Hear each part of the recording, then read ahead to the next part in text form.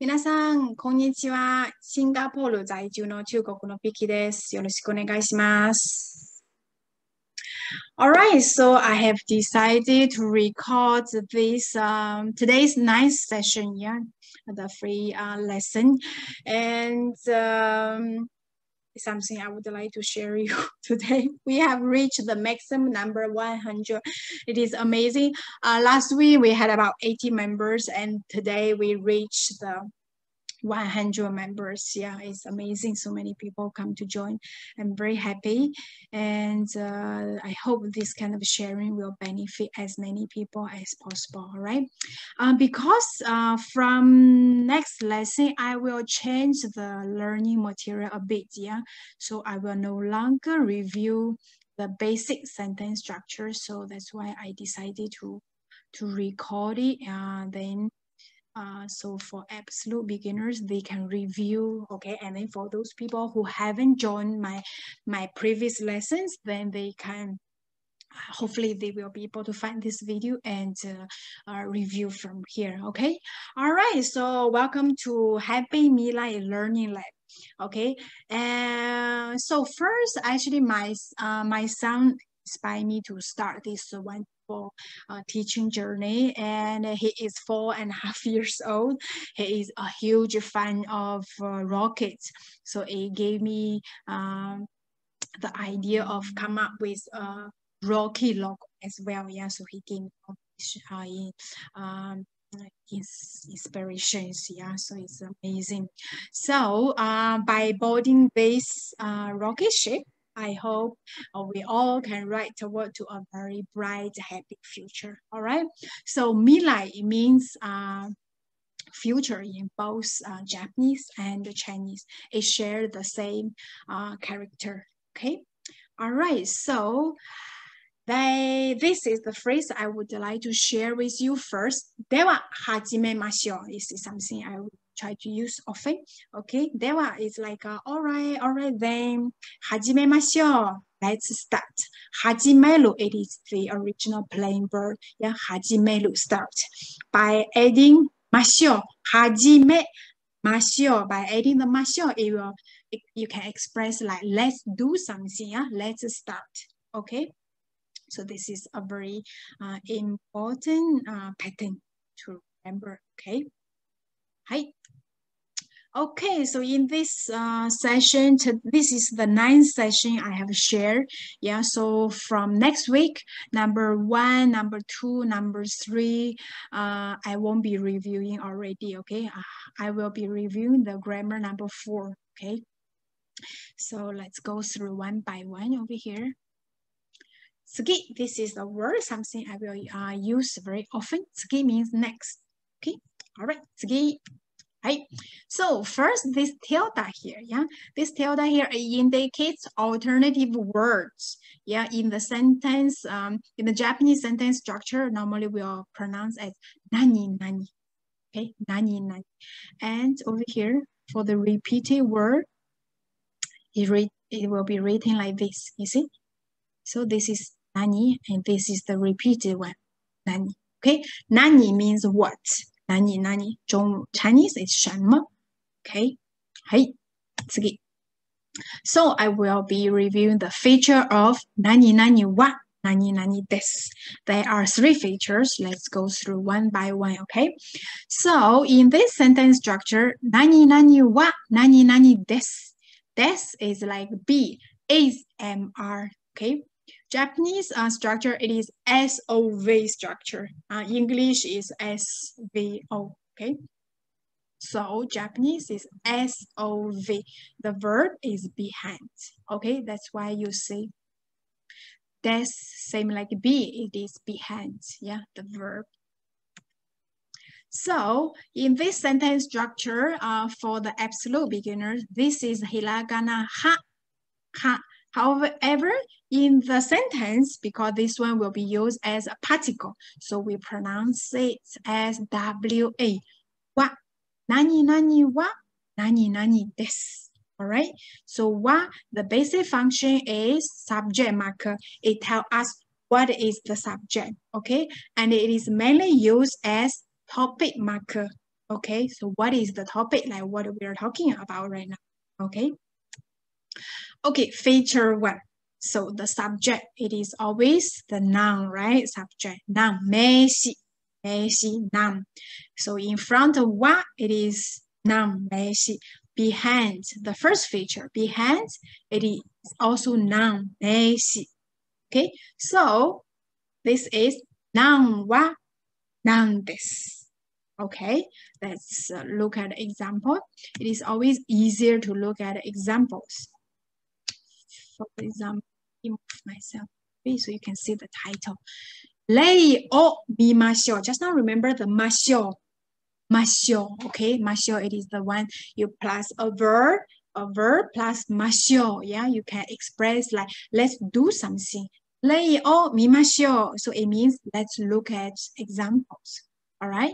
So here the example. Kale wa America jin desu. America means America. America Jin plus Jin, it became the nationality American. Yeah, so Kale means he or him. Okay. So in front of wa, the subject is noun. Behind wa, it is also a noun. All right. So katakana, America, America, it is written in katakana.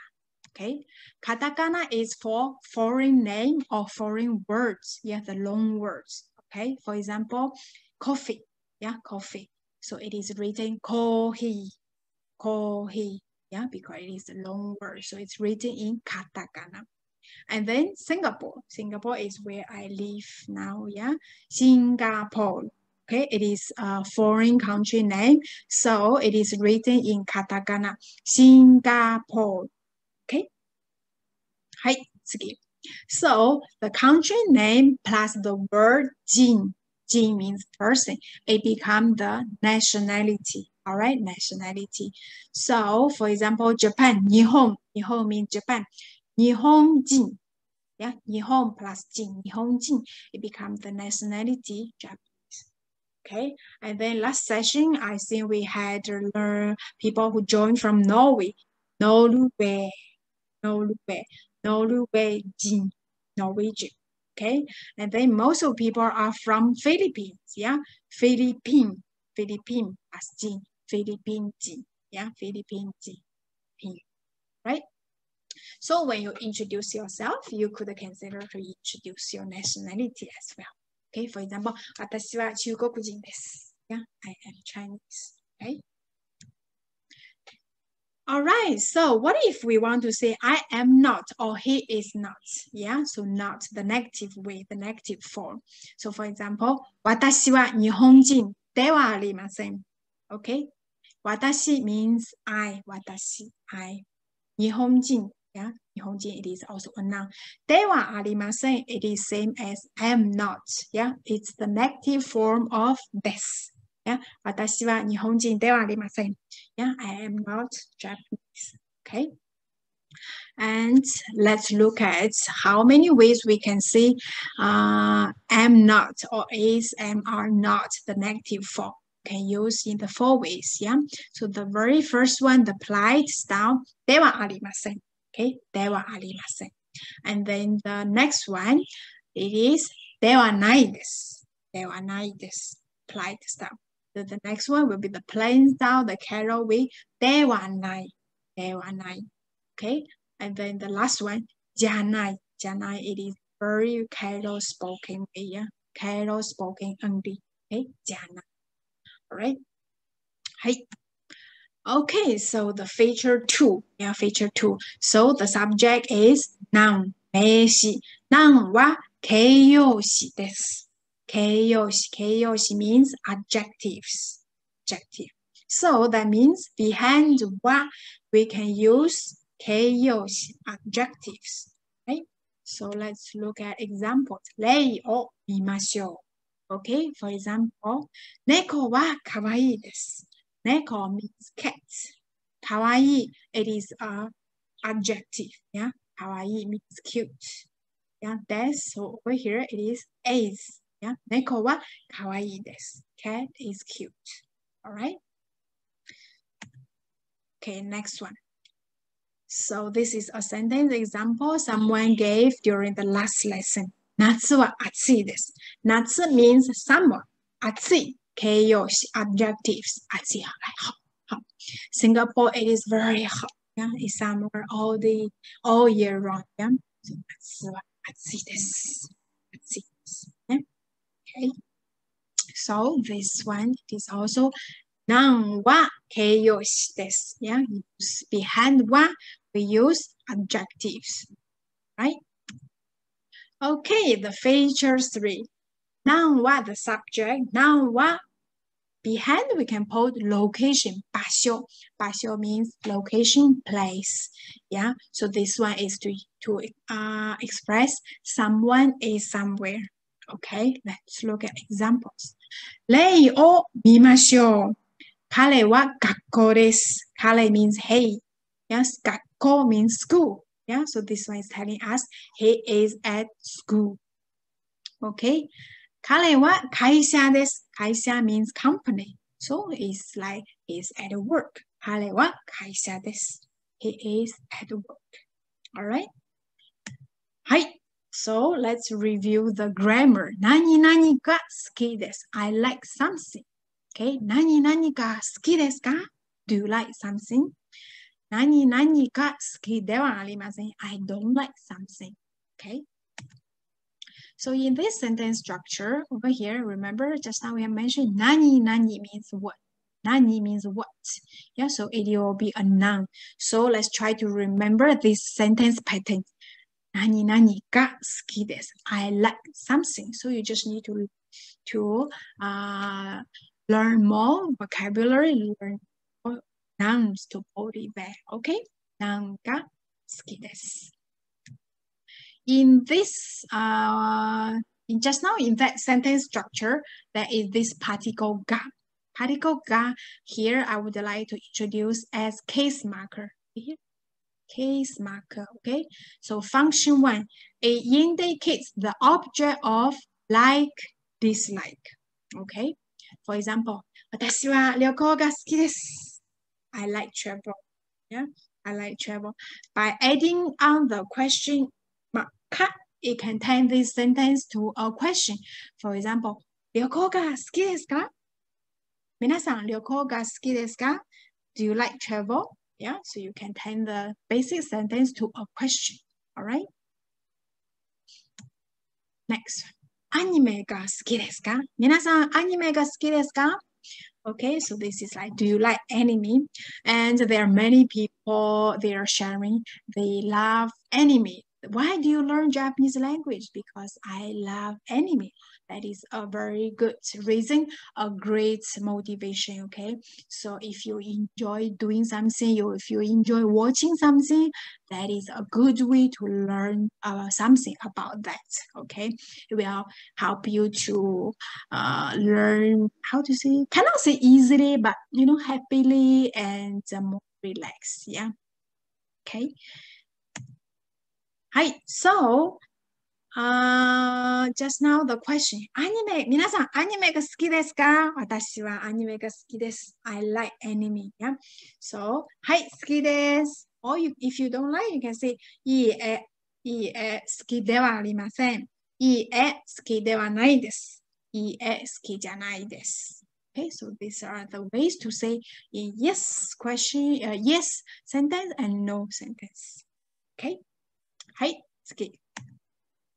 Particle ga as a case marker, it also indicates the object of capability. Okay, capability. For example, 日本語ができますか皆さん、日本語ができますか Can you speak Japanese? Yeah, so let's say if you, you know a little bit, little, 少し少しできます。少しできます。Yeah? 少し話します。or 少し話せます。Yeah? I can speak a little bit. Yeah? 少し a little. Okay? And、uh, let's say if without か、日本語ができます。So that means, yeah, I can speak Japanese or I can, I can speak Japanese. Okay? はい。So over here, できます。It is the applied style of the word できる。 Dekiru, it has many meanings, many functions. Yeah. Over here, I will just introduce the basic meaning. Can do, capable, be able to. Okay. はい、次。皆さん、料理ができますか ?Can you cook? 私は少しできます。のすぐ、少しできます。上手ではありません。料理ができますか Yeah. Can say 少しできます。Can cook a little bit. Yeah. 料理ができますか So the が indicate the object of capability. Okay. はい。Okay, so ga as case marker, it has another function. It indicates the subject. It tells us what is the subject in the sentence. Okay, let's look at the examples. 犬が動物です。 okay? Inuga dogs this. So in this sentence structure, it's just telling us the facts, okay?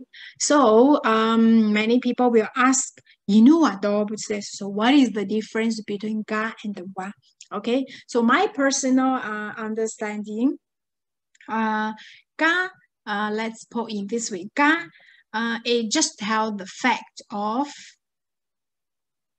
dog is animal without emotion. It is just a fact. It can be written on the paper, okay? So it's more like a written, written way, okay? And what, you know what dog is this? Yeah, why? Because it is a topic marker. Yeah. So why it gives the sentence uh, emotions.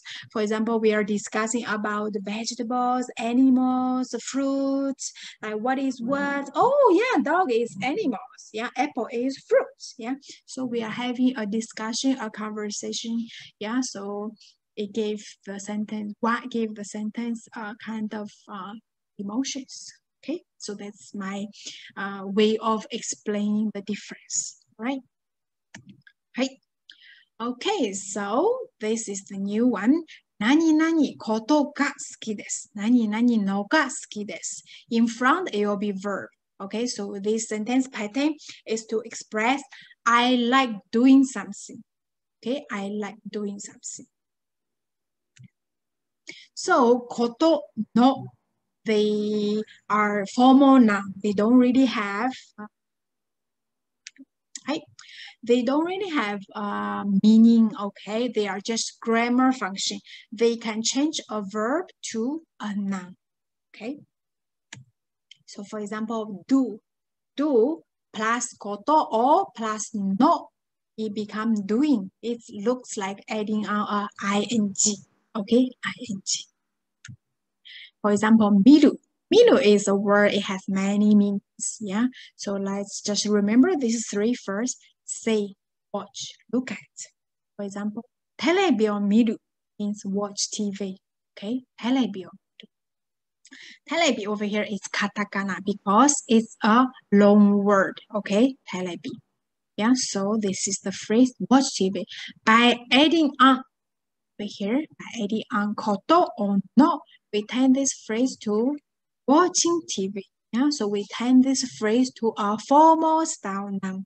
Okay, for example, 私はテレビを見ることが好きです。私はアニメを見ることが好きです。Yeah, so you can express, uh, I like doing something. Yeah, I like some, I like watching TV. I like watching anime. All right.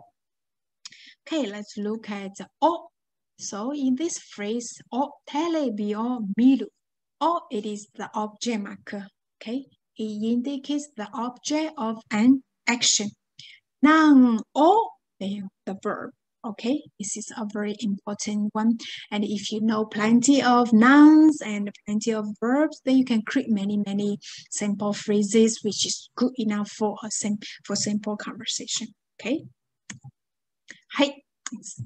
This is a word. Yomu. Yomu means read. Hon or yomu, read book. Okay. So by adding on koto no, it changed to this phrase to reading book. 私は本を読むことが好きです。Yeah. I like reading book.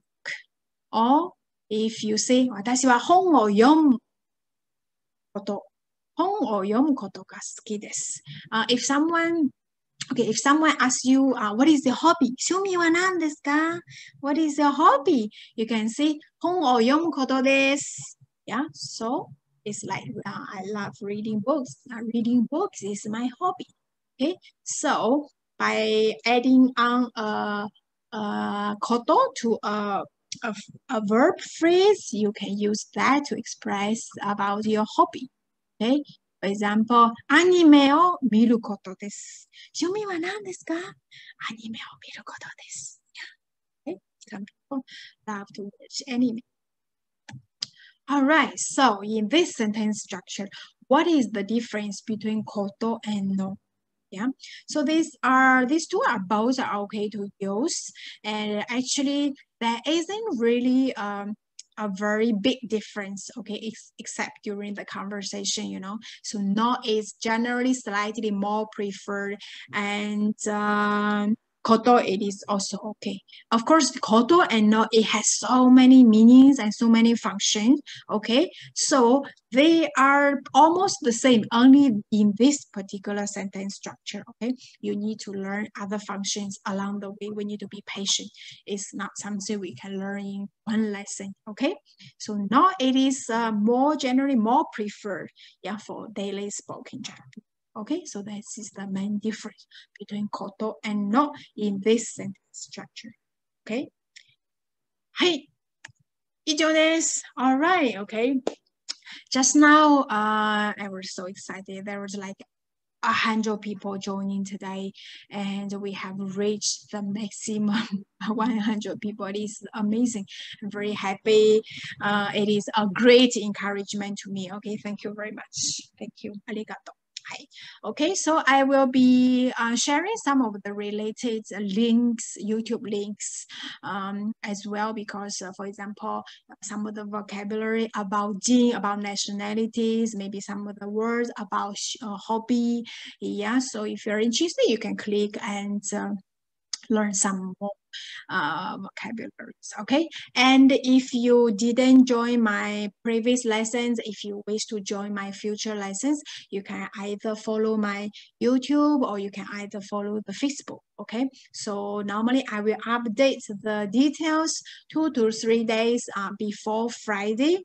Um, both at both places okay so on the facebook it will be uh, created under events okay and uh, uh, for the 2 p.m. session, so generally the 50 hiragana alphabets must be included because it is made for people who learn from zero.